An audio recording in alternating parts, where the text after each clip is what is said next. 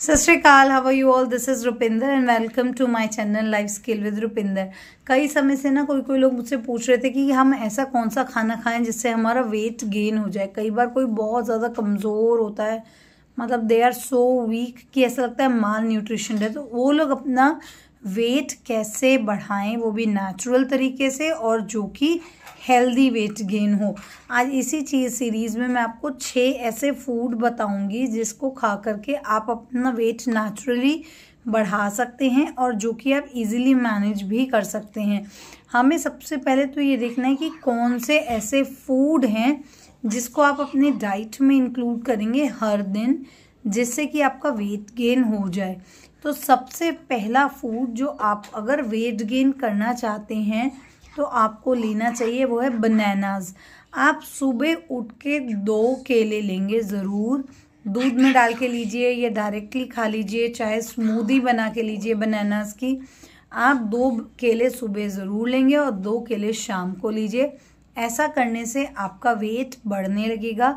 केला जो है ना, इसके अंदर काफ़ी अच्छी मात्रा में कैलोरीज भी होती हैं और कार्बोहाइड्रेट भी बहुत अच्छी मात्रा में होता है, जिसके कारण अगर आप केला रेगुलर तौर पे आप एक महीना कंटिन्यूस खाएँगे तो इजीली आपका वेट गेन होगा। ये बहुत ही अच्छा सोर्स है नेचुरल तरीका है, कोई साइड इफ़ेक्ट नहीं है केला लेने से।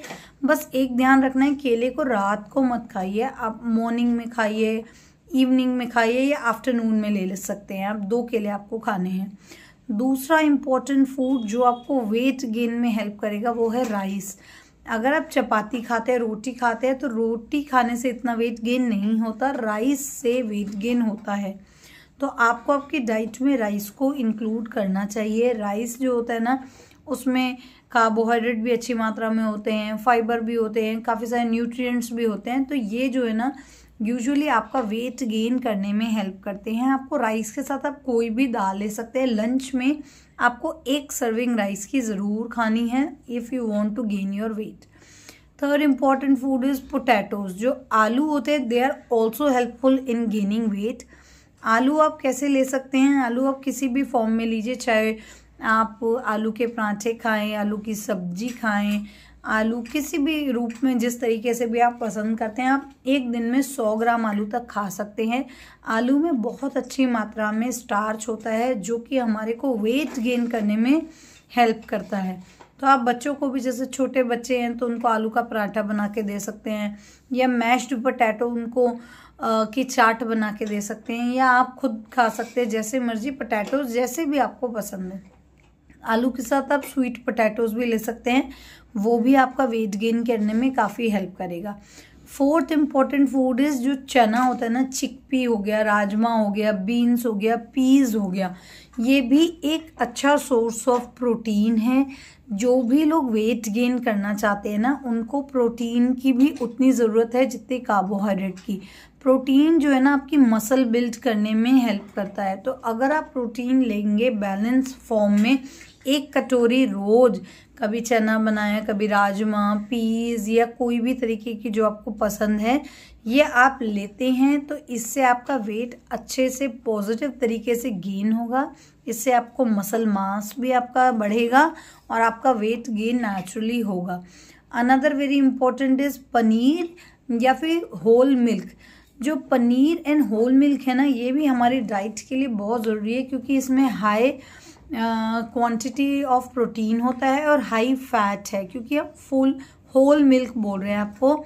मतलब जो फैट मिल्क आता है, वो लेना है आपको। टोन्ड मिल्क नहीं लेना है।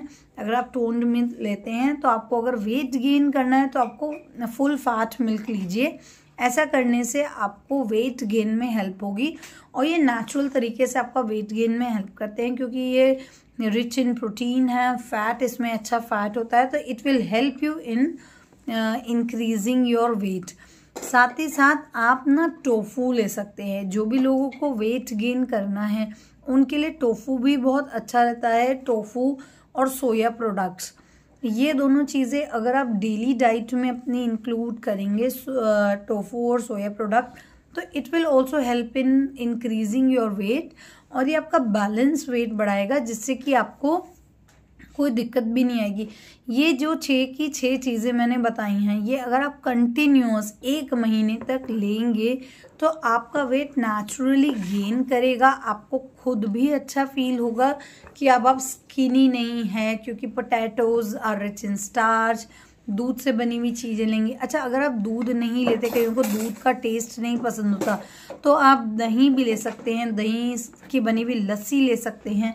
वो भी आपको उतना ही बेनिफिट करेगा जितना आपको दूध बेनिफिट करता है। तो you can take curd in place of milk also एक कटोरी भर के दही ज़रूर आपको लेनी है विद लंच ले लीजिए। या सुबह आप एक ग्लास बड़ा लस्सी का बना के पी सकते हैं। जो थिक कर्ड होती है ना उसकी लस्सी बहुत अच्छी बनती है।